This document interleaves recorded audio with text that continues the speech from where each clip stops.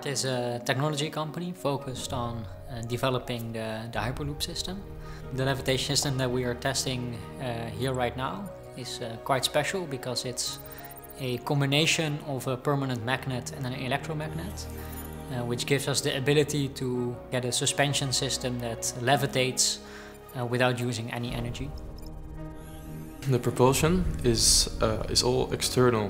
What we do is inside our track, we, which is a steel beam. Uh, we have these uh, slots running through the track, and through these slots we wind uh, uh, windings for electric coils.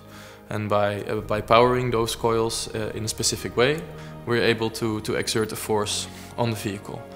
The nice thing about this system is that all the power for propulsion is not on board of the vehicle. You can actually tailor the amount of propulsion that you need um, over the length of the track. The reason why we built this uh, test setup is to be able to, to demonstrate to our followers that the technology that we have developed really works.